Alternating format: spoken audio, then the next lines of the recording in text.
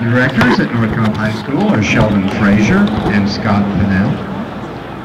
Tonight, the North Cobb High School Marching Band presents Coco Kokopelli Dances. Drum majors, Emma Klein, Addie Quintana, Miguel Flores Padilla, and Angelica Ricardo. Is the North Cobb High School Marching Band ready?